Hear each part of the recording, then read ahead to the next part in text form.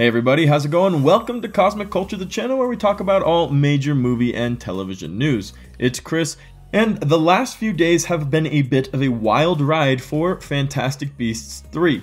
Now, if you haven't heard already, a few days ago, Johnny Depp was forced to step down from his role of Grindelwald in the Fantastic Beast movies. And if you've seen the first and second one, you'll realize he's pretty central to the future of this franchise and where it is heading. So this causes a lot of different changes. The reason Johnny Depp had to step down has to do with a lot of personal legal stuff between him and Amber Heard. I'm not going to get into all of that because that would take an hour to explain even the beginning of it, and it is very complicated and unfortunate for all parties involved.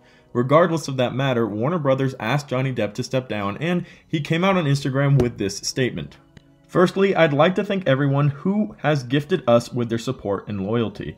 I have been humbled and moved by your many messages of love and concern, particularly over the last few days.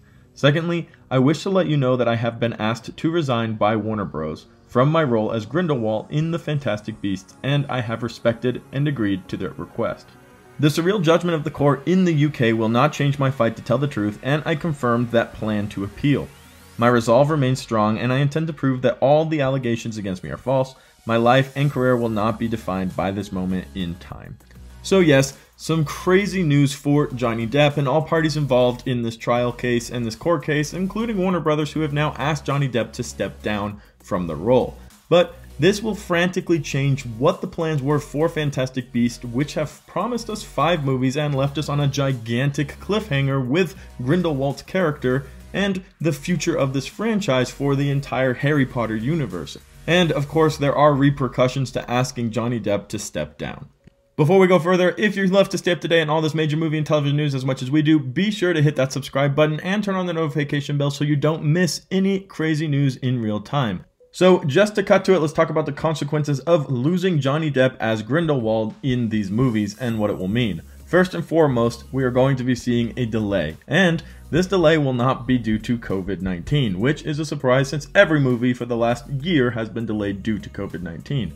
But in fact, they're going to have to pick up the pieces from what is now probably a fallen apart plot point, losing what was their main antagonist, main character of the story, as far as the direction of the plot and where it was really headed had to go. So the already delayed movie, which was pushed back until November 12, 2021, due to coronavirus, is now being pushed back reportedly to July 15th of 2022 and this is exclusively because of the loss of Johnny Depp's character.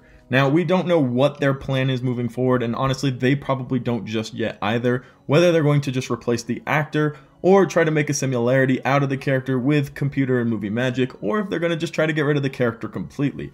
We've had similar situations with this happen before where actors passed away, and there seems to be a kind of agreement among all fans and creators of movies that virtually recreating that character is kind of inappropriate, but this is a little bit different in the sense that Johnny Depp isn't dead, he's just been removed from the project. Now, although I realize this is a sensitive topic for Johnny Depp, a sensitive situation, and Warner Brothers is trying to handle it the best they can, it does seem a little bit crazy that one of the main characters is now gone from the movie completely, and that they're either going to have to replace the actor, who is an extremely well known and loved actor, who is extremely well liked in this role of Grindelwald, or they're going to have to move in a different direction and somehow get rid of Grindelwald, whether they kill him off, or he dies really on in the next movie, or however they plan on doing it.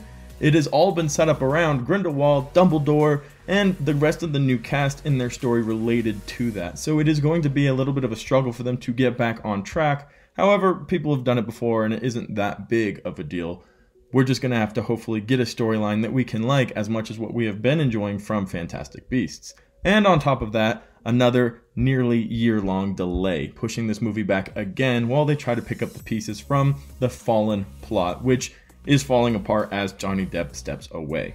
Now, whether or not it is the right decision to ask Johnny Depp to step away, it is really irrelevant because it is done now and Johnny Depp has left. He's also lost different movie opportunities like Pirates of the Caribbean, which movie was scrapped in the middle of all of this trial, and many other movie opportunities that I'm sure would have come Mr. Depp's way. But don't feel too, too terribly because it seems like Warner Brothers is still on the hook to pay Johnny Depp for his role in Fantastic Beasts, even though he will not be appearing in the movie. So he's going to be making eight figures on a movie he's not even going to show up in. which of course will also potentially affect the budget moving forward. But this is a huge blockbuster movie with the potential and the belief that it will be bringing in a lot of money, so that isn't really, really that big of a deal or concern.